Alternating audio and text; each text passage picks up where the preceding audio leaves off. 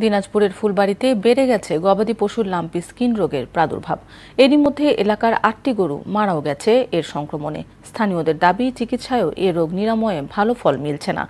এই অবস্থায় কম দামে পশু বিক্রি করে গোয়াল খালি করছেন আতঙ্কিত কৃষক খামারিরা। তবে স্থানীয় প্রাণী সম্পদ বিভাগ বলছে, আতঙ্কিত না হয়ে যথাযথ চিকিৎসা নিলেই আক্রান্ত পশু সুস্থ হবে। দিনাজপুর প্রতিনিধি সুবল রায়ের তথ্যে রিপোর্ট। দিনাজপুরের ফুলবাড়ি উপজেলার শিবনগর ইউনিয়নের দাদুপুর, বাসুদেবপুর ও নূরপুর এলাকায় ছড়িয়ে পড়েছে গবাদি পশুর লাম্পি স্কিন রোগ মালিকরা বলছেন এই রোগে আক্রান্ত পশুর শরীরে জ্বর আসে, খাবারেও অনীহা দেখা দেয়। ফলে খুব শিগগিরই আক্রান্ত পশুগুলো দুর্বল হয়ে পড়ে।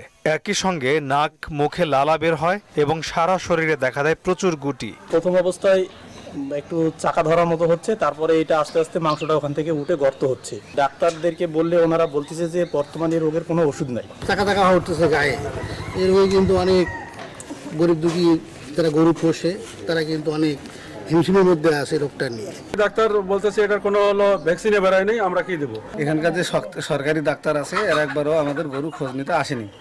আমরা নিজস্ব তহবিল থেকে আমরা চিকিৎসা করছি।